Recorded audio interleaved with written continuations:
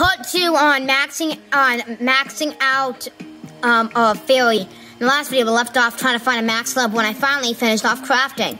About two hours later, because I forgot about it. okay, let's go there. Let's max out the fairy in a bottle.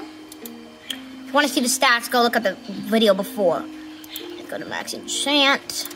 Before I max it out, go to the video before. And then go to max shadow.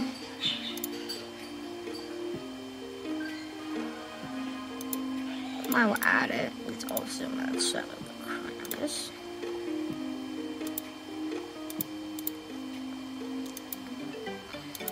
Now it is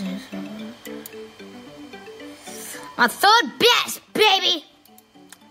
63,683 currency multiplier. That's a big boy. Now let's also max out the Candy King.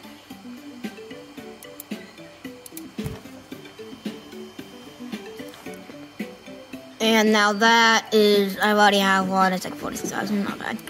So one I need to beat is 32,000, and then I'm actually to get below 60. 60 okay, so right now my lowest, guys, is twin snowballs. So I'm waking up in the baby. I, I almost have nothing to do with BGS, boy. kind of funny.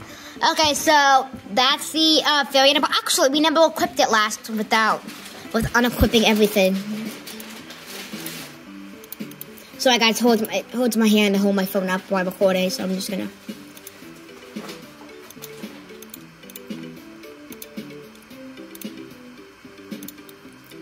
So here's the fairy in a bottle alone.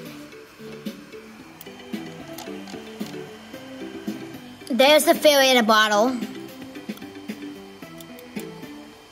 Let me unequip the comet in a bottle